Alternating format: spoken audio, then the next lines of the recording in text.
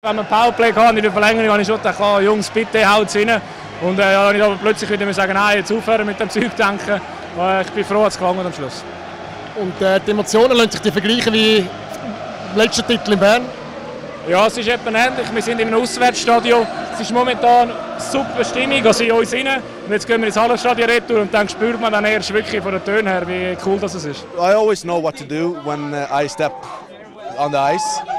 And when I was looking around, I was just taking everything in, you know, and just like, oh my God, this is amazing, you know.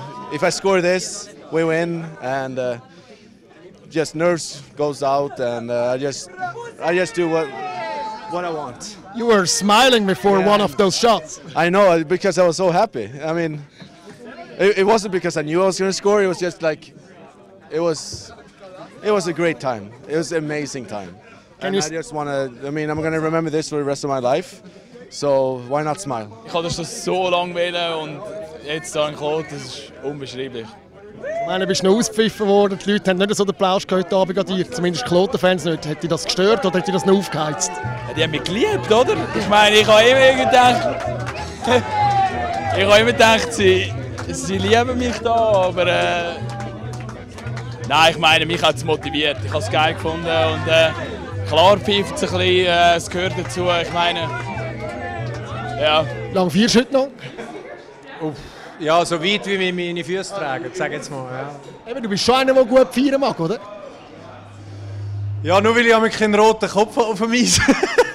könnte man das meinen, aber äh, ja, man wird älter und man wünscht, man wird schleuer, aber manchmal auch nicht. Ja.